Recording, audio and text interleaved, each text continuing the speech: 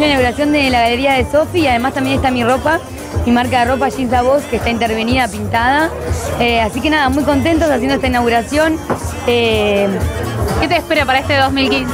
bueno, la verdad que muchas cosas, mucho tiene que ver con la moda y con el arte.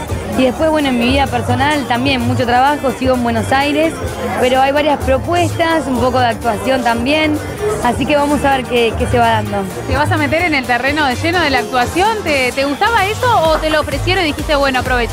No, no, me encanta. Vengo haciendo cosas, de a poco voy haciendo cosas. Ahora hice algo para una novela que se llama Viudas e Hijos del Rock and Roll, eh, de Ah, Ortega. está buenísimo, nosotros lo vemos acá, claro. Bueno, en febrero va- voy a hacer algo cortito ahí. Nada, voy haciendo cositas así, pero la verdad que me encanta. Yo hace tres años que estudio teatro y actuación y, y cine. Así que vamos a ver si podemos meternos ahí.